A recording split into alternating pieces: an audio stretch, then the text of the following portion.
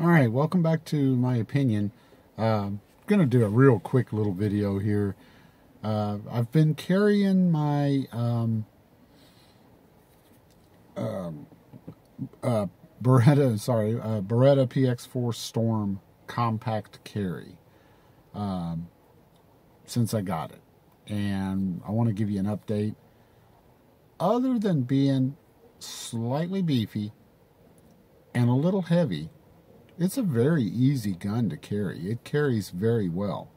And the good thing is because it's a double double action double single action single double action uh, lost for words this morning um, it's very safe to carry um, pretty much you know in soft holsters or because it you know the first trigger pull the double action is a, a probably about a eight to ten pound. I would say more ten pound, and then the the single action is four, uh, maybe, uh, probably less, but it's very easy to carry.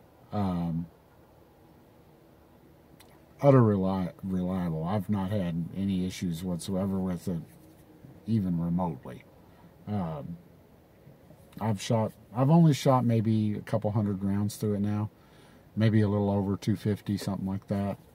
But been incredible, just a, a great gun. And you know, I've I've been shooting Glocks for so long that uh, uh, I've shot many other pistols too, but uh, double actions and single actions, HKs, and so on and so forth, uh, Berettas, 92s, etc. But um, it's a great gun. It's easy to carry. It, it's a good carrying gun, and I can carry it with some holsters that I had, the Yaqui slide holsters. Uh, I can carry it with those without worry. You, you, you, don't, you know, with Glocks, you you're not as, you don't feel as safe. You're a little paranoid uh, with the trigger, uh, or at least I am. Um, but yeah, and and I I put some Talon grips on it.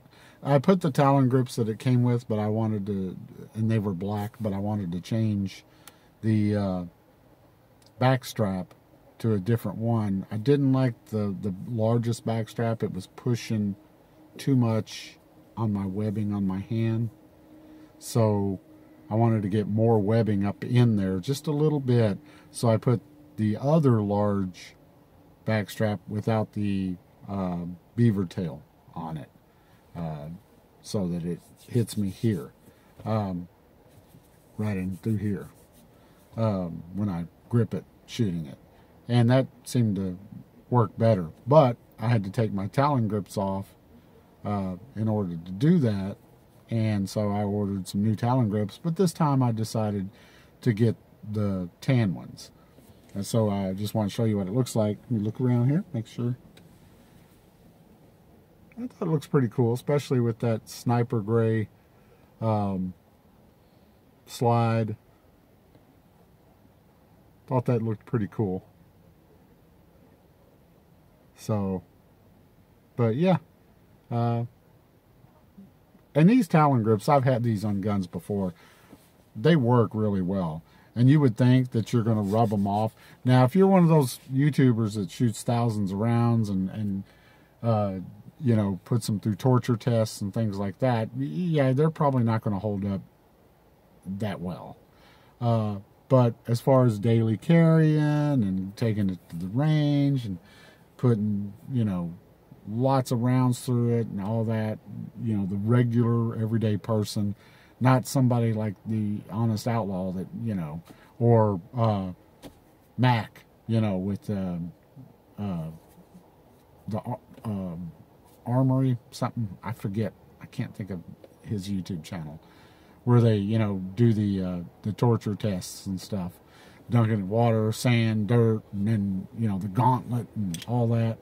Um, but uh, oh military arms channel i think that's what he, calls it uh, the, but anyway some of those guys that really torture the hell out of these guns um, it might not hold up that well for that But for the everyday person, yeah. And I've had these on many other guns before and never had any problems with them.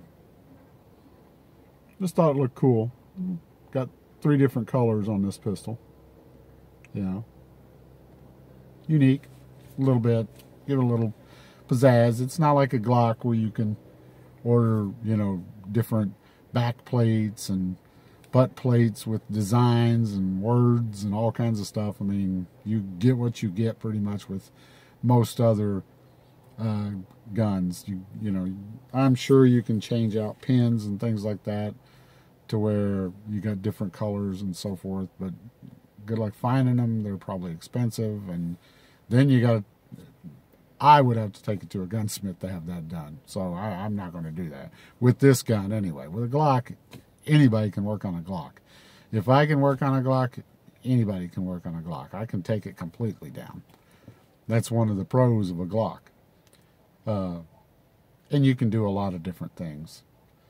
And, and I may ultimately stipple this gun. Uh, but, you know, it was, after taxes and everything, it was an $850 pistol.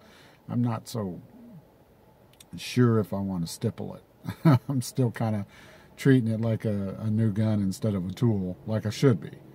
But if the talon grips over time don't work out real well or anything like that, if you follow the directions on the talon grips, uh, they'll hold up real well. Um, even if you don't, they'll they'll hold up real well. But uh, what you do with the talon grips, you